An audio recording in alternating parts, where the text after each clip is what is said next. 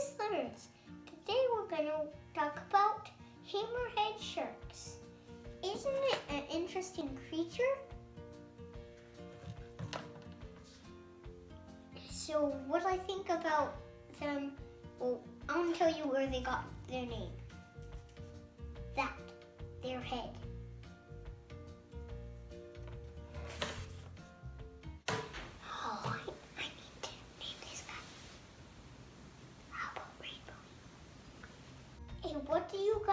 Think I should name my rainbow shark? How about Rainbowy? My, me and my mom made this shark today. Stay tuned for the end of the video and I'll tell you how to make one for yourself. Okay, let's get down to business. The unique thing about a hammerhead shark is about its head and its big dorsal fin. Hammerheads can see behind themselves. With a move to the right, they can see far behind themselves. With a move to the left, the same. Do you see its wide set eyes? It helps them to see everything around them. Like here, here. Their color is gray, greenish gray, and brownish gray, but they're never rainbow like, and they always have a white belly. They're never rainbow like mine, because I like rainbow though. And Hammerhead sharks have a T-shaped head because it helps them see better and hunt better and stay off the ocean floor better. Hammerhead shark's favorite food is stingrays. You want to know how they catch, catch them? I'll show it you how they catch them with rainbow. They just do this to find them, and then they pin them to the ocean floor and eat them. This is also what they eat. Fish, crabs, lobsters, squid, and other sea creatures. Another reason for their weird shaped head is because they can pick up electrical signals. We only have five.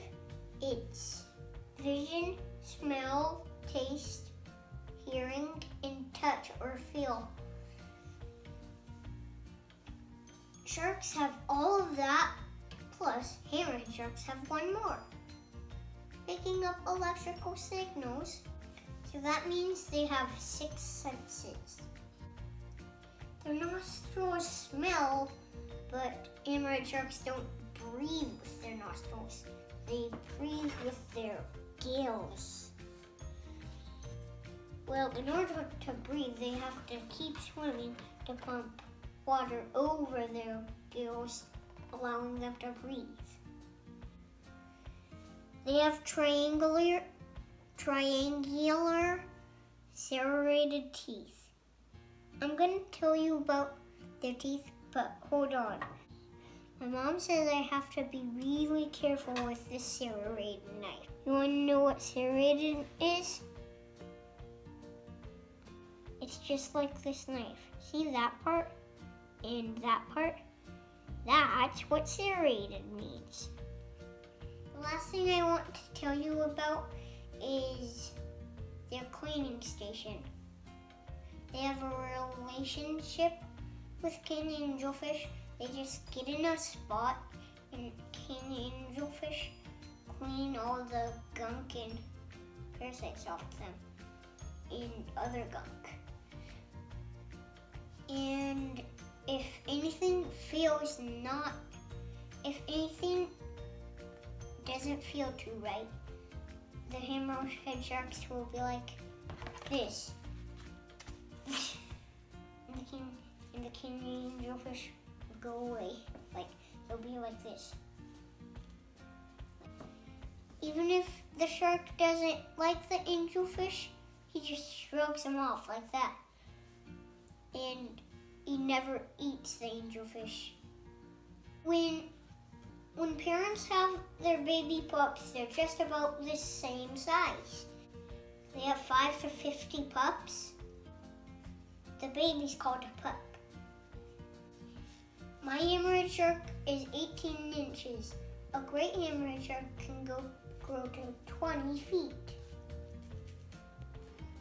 A hammerhead shark can live up to 25 to 35 years. There's nine species of hammerheads. I'm I'm just gonna name two, alright?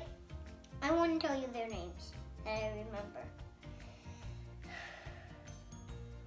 The great hammerhead that I have right here, and scalphead that looks like it has scalps all, all over its head. That's all I have to share about hammerhead sharks. I want you to do two things for me. Make sure to subscribe to Lucas Learns and write a comment at the bottom to tell me what you learned about Lucas Learns. Wait, wait, wait! Three more things. Make sure to share with your friends and make sure to share with your kids. And stay tuned, and my mom will tell you how to make rainbowy. Bye. Hey, thank you so much for watching Lucas Learns. We really appreciate it. Thanks for everybody who's subscribed and commented and shared. Lucas loves doing these videos and he really loves it when people share. But anyways, we're going to talk about the hammerhead shark craft that we did. So you just go find yourself a cardboard box and trace a hammerhead. Now I went on YouTube and I looked at a video and it's, I think I searched how to draw a hammerhead shark and I found something. So I just did my best. It's not a cookie cutter thing. It's not a stencil. Just do your best. That's the fun of it. So then you're going to go and uh, find some more cardboard and draw three hammerhead shapes. And then you'll take those and you'll glue them together with hot glue. And then make sure they have slits cut in them before you glue them.